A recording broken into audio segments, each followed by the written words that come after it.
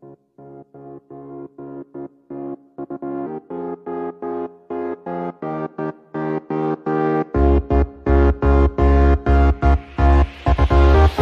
students, today we are going to start our third chapter of SS that is movements of the earth. Now what is the meaning of movement? Movement means the mo- motion or the changes. Now in this lesson we are going to study the movements of the earth that how the earth changes its place and that are the two there are the two movements rotation and revolution Students, you had seen the different positions of the sun at the different times of the day. For example, at the noon time, the sun is right over our head and we feel its heat and brightness. In the evening, the sun sets in the west. These positions of the sun give us the impression that the sun keeps moving from one corner of the sky to the another. Means we feel like that that sun is moving here and there and we are as it is on the same place. But it is not correct. Actually you know that sun never changes its place. Sun is as it is on its place and the other planets of the solar system including the earth they take the round around the sun means they are revolving around the sun. And earth has the two basic movements. These movements are rotation and revolution. Now we will study about the rotation of the earth. Now students you had seen a uh, top. Top means what we say in the gujarati? Yes bamedu yes when you spin a top it rotates on its axis. Like axis what is the axis? We had studied in the earlier chapter in the latitudes and longitudes that axis is an imaginary line which is passing from north pole to the south pole and it helps the earth to spin on its place. Now similarly the earth also rotates on its axis and this movement is called rotation. So what is the meaning of rotation? When the earth rotates on its axis is called rotation the earth takes 24 hours to complete one rotation and the earth needs 24 hours to complete its one rotation. Now students we will study about the revolution of the earth. Now while rotating on its axis the earth moves around the sun in a fixed path and this fixed path is called orbit. This fixed path is called orbit. And this orbit it is elliptical in shape. Elliptical means it is oval in shape. What is the meaning of elliptical? Elliptical means it is oval in shape. Elliptical means oval in shape. Now when the earth is moving around the sun this movement is known as the revolution. When earth is moving around the sun and at the same time earth is also rotating. And earth takes 24 hours to complete one rotation. How much time earth will take? 24 hours to complete one rotation. And to complete one revolution earth takes 365 and one fourth days. Okay students i hope you had understood it. How much time earth takes to complete one rotation? 24 hours. And how much time it takes to complete one revolution? 365 and one fourth days. Now students we will study about a leap year. Now what is a leap year? The earth takes 365 and one fourth days to complete one revolution. But we consider only 365 days in a year and the one fourth day or the 6 hours is added to a 4 years is added for a 4 years. Means this 1 fourth plus 1 fourth 1 fourth plus 1 fourth makes 1 day. And this 1 day extra it is this 1 day it is added in the month of February. Now in the month of February after every 4 years there is 29 days and that is called a leap year.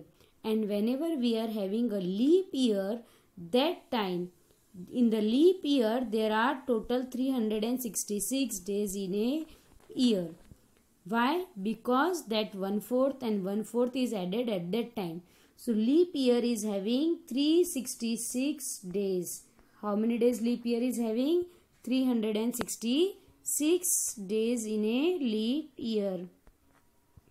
Now students, I hope you had understood what is a leap year that the earth takes 365 1/4 days to complete one revolution.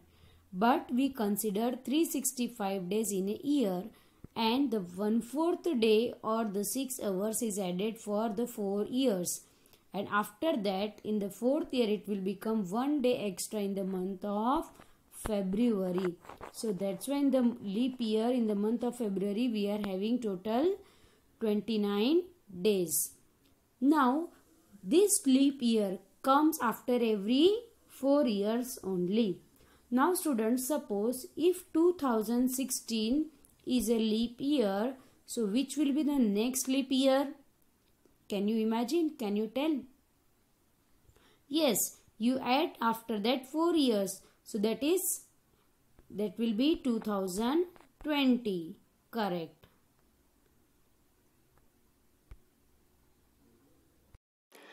Now we will study about the seasons. Now students you know seasons means what? Yes. Generally you know about the three main seasons that is summer, winter and monsoon. But here we are going to see some other thing also about it. Student how how this season occur? Means season कैसे होती है?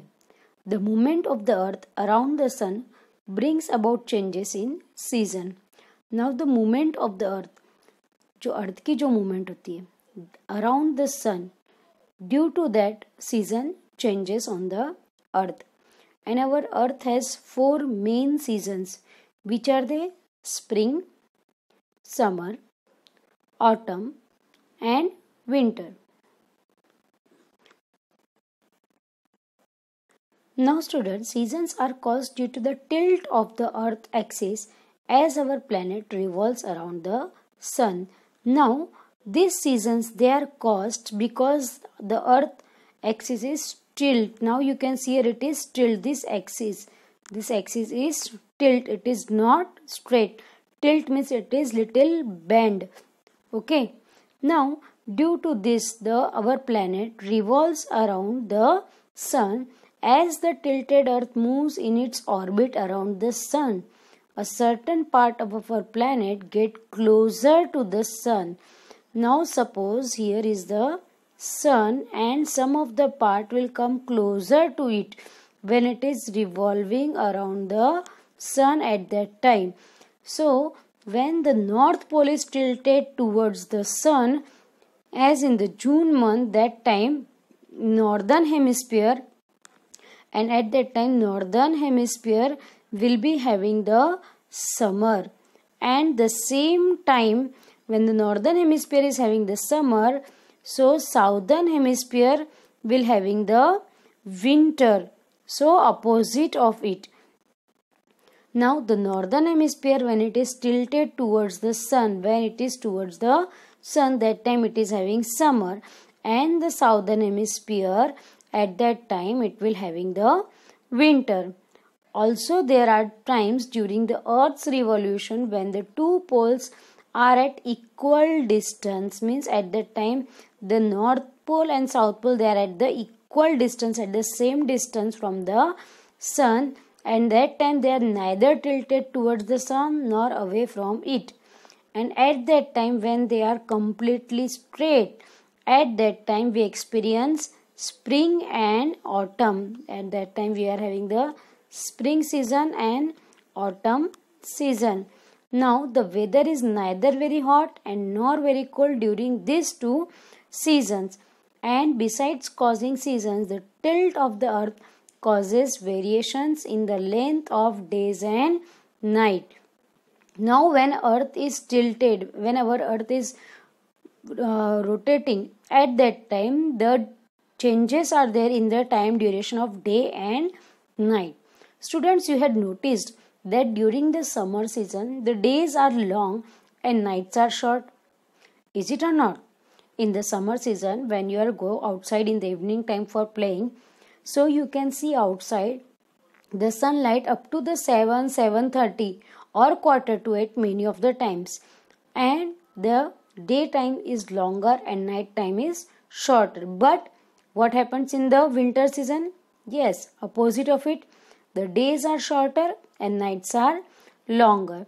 In the winter season if you go outside in the evening time so nearby 6 o'clock or 6.30 it becomes start be it starts becoming dark.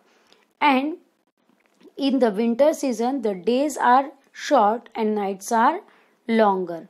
I hope you had understood about the seasons. We had studied that due to the tilt of the earth we are having the different seasons also whichever season the northern hemisphere is having opposite season southern hemisphere will having when the northern hemisphere is tilted towards the sun it will having summer season. And that time the southern hemisphere will be having the winter season. But when the southern hemisphere it is tilted towards the sun that time southern hemisphere will having the winter and northern hemisphere that time will having the summer i hope you had understood it thank you Now the next topic which we are going to study that is solstice and equinox. Now first of all what is the meaning of solstice student? Solstice is the point during the earth's orbit around the sun at which the sun is at its greatest distance from the equator means the sun is at the greatest distance from the equator and equinox. What does the equinox? Equinox is the time that when the earth is to the closest distance from the equator. Means that the equinox will having the equal day and night. And at the time of solstice it might be having the longest or the shortest day. It might be having the longest day or the shortest day that we will see further. Okay. Now in the northern hemisphere the days during the summer continue to be the long till 21st june up to 21st June, the days will become longest. On the 21st June, it is the longest day and after that the length of the day slowly begins to decrease means 21st जून जो है वो सबसे बड़ा दिन है और उसके बाद धीरे धीरे जो दिन है वो छोटे होते जाएँगे कब तक up to the twenty second December So from 21st June till 22nd December, slowly, slowly the length of the days became decreased. In winter, the days continue to be shorter till 22nd December. And this is the shortest day of the year and it is known as winter solstice which is the winter solstice 22nd December and it is the shortest day. It is the shortest day and which is the longest day 21st June it is known as the summer solstice okay students. Now the next thing that there are two days in the whole year when the earth when the days and nights are equal in length. Means the daytime and the nighttime is equal. And these two days when the sun shines directly over the equator and these days are called equinox and these two days are known as the equinox. And in the northern hemisphere 21st March or the 20th March and 23rd September they are known as follows. Suppose for example first we will consider about the vernal equinox. Vernal equinox is also known as the spring equinox. Okay students. Now this 21st March or on the 20th March this vernal equinox occur and autumnal equinox. Another is the autumnal equinox. It will occur on 23rd september. At that time the length of the day and night is equal. Have you understood beta again i will repeat that 21st june is the summer solstice. It is the longest day. Then after that the length of the day decrease up to the 22nd december. It is winter solstice. And on that days on the 22nd December it is the shortest day. Then the another two points which we very important that is the equinox. Equinox means having the equal day and night. So at that time on the 21st March vernal equinox is there. And vernal equinox is also known as the spring equinox. At that time the time duration is equal means daytime and nighttime is equal. And on 23rd September autumnal equinox is there. At that time also day and night time duration is equal. And a very important thing now students again we will revise the things that we had first studied in this chapter about the rotation of the earth and revolution of the earth. We had studied that during the rotation of the earth the earth takes 24 hours to complete one rotation and earth rotates on its own axis. For that it takes 24 hours. The next thing which we had studied about the rotation that due to the rotation of the earth day and night occurs. What thing happens? Day and night occurs during the rotation of the earth. And the part of the earth which is facing the sun will having the daytime and the opposite part will having the night time then the next thing which we had studied that is the revolution of the earth. Revolution we had studied students that at that time in what happens in the revolution? Yes during the revolution, the earth moves around the sun in a fixed path. Now you can see here this is the fixed path shown to us. And this fixed path is showing us about the orbit. And this orbit is elliptical. Now you can see here it is elliptical. Elliptical means oval in shape. And this movement of the earth around the sun is called revolution.